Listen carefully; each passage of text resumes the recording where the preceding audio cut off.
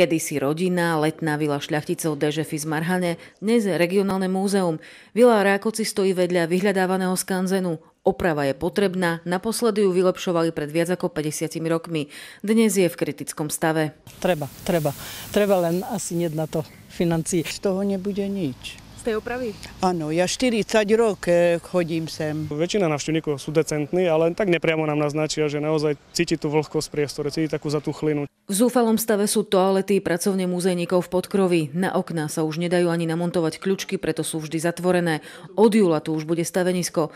Zriadovateľ PSK na opravu vily uvoľnil z rozpočtu 915 tisíc eur. Kritický stav je z hľadiska zavlhčenia objektu. Podkrovie je bez tepelnej izolácie.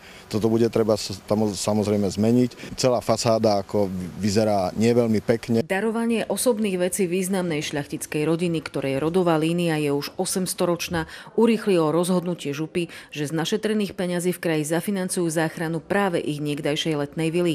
Dnes už plánovali harmonogram stavebných prác. My sme veľmi vďační pani Marte Mitrovej, rodenej Dežefy, za tento dar, pretože je to naozaj jedine ako nevydané gesto, ktoré urobila. Cítime istý záväzok. Mimochodom, e, nič si nežiadali vrátiť v reštitúciách, čo je tiež ojedinele. V kúpeľoch tak pribudne ďalšia stavba, ktorá bude zapadať do vzhľadu kúpeľného mestečka, kde sa za posledné roky opravilo viacero budov a liečebných domov.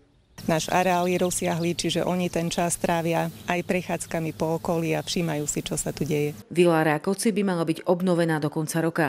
Na 6 mesiacov bude národopisná expozícia v múzeu preto pre verejnosť zatvorená. Diana Murdziková, RTVS.